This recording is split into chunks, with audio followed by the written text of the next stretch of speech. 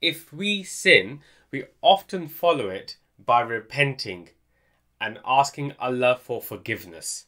But what do we have to do to have that repentance accepted by Allah? Do we simply need to ask Allah for forgiveness and believe that as He is merciful, He will forgive us? Or is there more to it?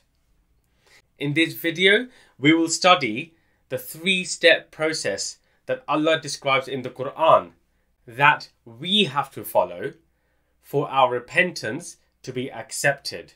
And I'm going to be using this diagram to explain it.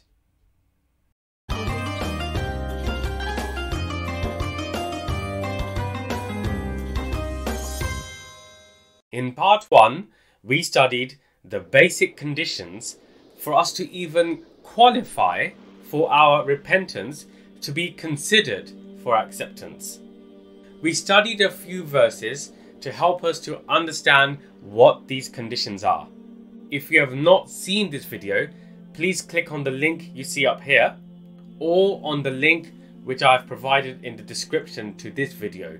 Okay, now let's take a look at what we have to do to get our repentance accepted by Allah, to be forgiven. First, take a look at this. Consider this. There is one straight path to success. This is the truth. Haq. This is the truth, the path that has been explained to us and given to us by Allah in the Quran. There are many other paths, but they are all false. They are all wrong and they all lead to failure. Now, take a look at this person who is on the wrong path. He is sinning. He is undertaking wrong deeds. He is not following the instructions given to him by Allah in the Quran. Now imagine if he wants to be forgiven for that. Let's see what the Quran says he needs to do. So first, we're going to look at Surah Al-Ma'idah, which is chapter 5, verse 39. Okay, so Allah says, فَمَنْ تَابَ مِنْ بَعْدِ ظُلْمِهِ But whoever repents after his wrongdoing. Let's stop here. Here we have our first step. The first step is to repent. When we do something wrong, the first step to be forgiven by Allah is to identify that we have done wrong, to acknowledge that we have done wrong, and to make a firm commitment to change and not to do that sin again. So, let's take a look at this person. So, the first step he has to take is to identify and stop. He has to refocus his mind, his intentions. He needs to commit to changing. That is repentance. That is the first step of having repentance accepted, which is to repent itself. Okay? Step number one. He has stopped and is committed to change. Now, many Muslims believe that this is enough.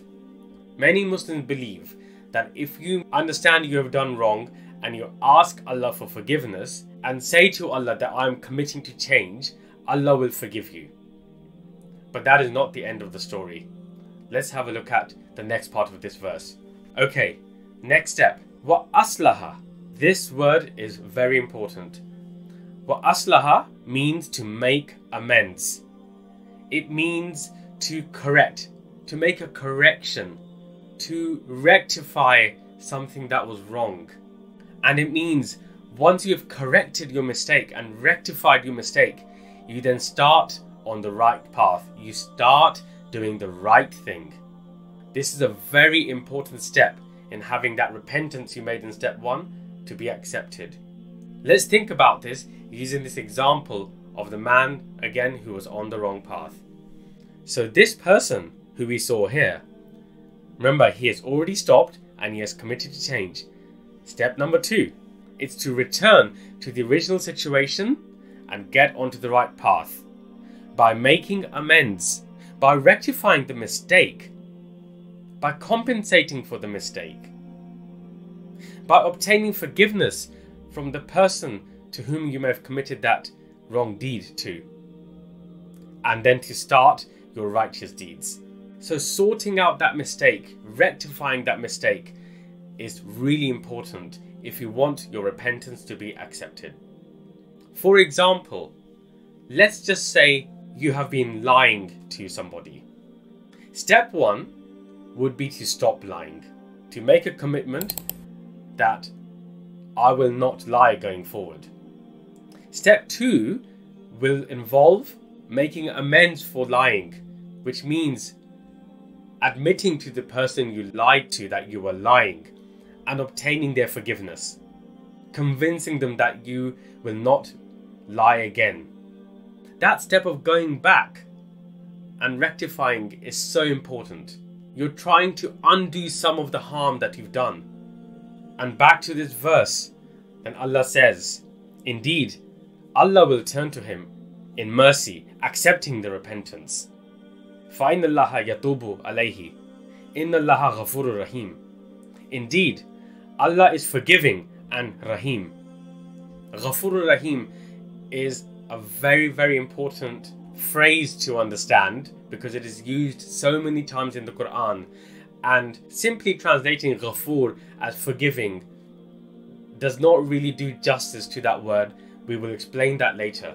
Similarly, Rahim is often translated as merciful. Merciful does not describe the meaning of the word Rahim. Again, we will explain that in another video. Now, there are many verses which describe these two steps, which I've just gone through.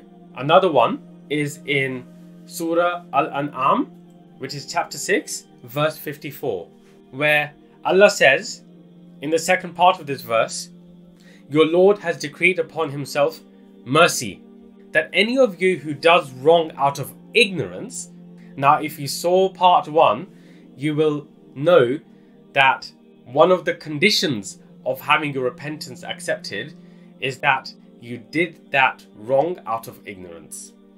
And then repent after that. That was step one. You repent, you make a firm commitment to change, and makes amends. Again, the word here is wa aslaha fa annahu ghafur rahim. Indeed, he is forgiving and rahim. Okay, so that's another verse which is describing steps 1 and 2 and one of the conditions that we discussed in part 1. Now, there is another step as well. And this is described in Surah Taha, which is chapter 20, verse 82. In this, Allah says, وَإِنِّي لَغَفَارٌ لِمَنْ تَابَ And indeed, I am the forgiver of him who repents. وَآمَنَ here, when Allah says wa'amana and believes, it means somebody who sticks to and follows Allah's instructions, which are contained in the Quran. So, amana is important, again, a condition. Wa'amila salihan and does righteous deeds. So, remember, we spoke about how in step two, you have to start performing righteous deeds. That's still part of step two. Thumma tada. And then remains guided. That is step three. To remain guided, to remain on the straight path. So let's take a look at what's happening with our brother over here. Step three is that he has to remain on that straight path. He must not come off it again. He must not go back to the original situation and start sinning again. He must not start performing bad deeds in that respect again. That is step three. And if this person does that, Allah says his repentance will be accepted. Allah is Ghafurur Rahim. He will accept the repentance. That is Allah's mercy. That is Allah's forgiveness. So, as you can see, repentance is not simply about putting up your hands towards Allah and asking for forgiveness. It is not a matter of reciting certain verses of the Quran before you pray. It is not about kissing the black stone near the Kaaba. Allah is telling us that if we want our repentance to be accepted, there are certain conditions that must be met and there are certain steps that we have to take. And if we take those steps, then Allah will accept our repentance. So I hope those three steps are now clear to you.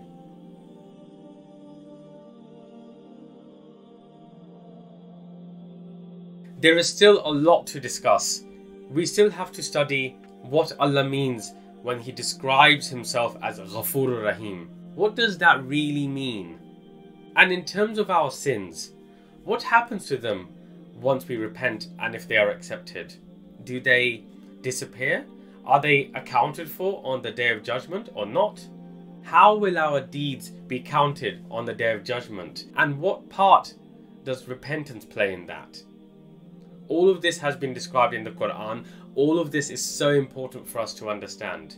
Remember, the Quran is complete and it is fully detailed. Allah tells us everything in the Quran.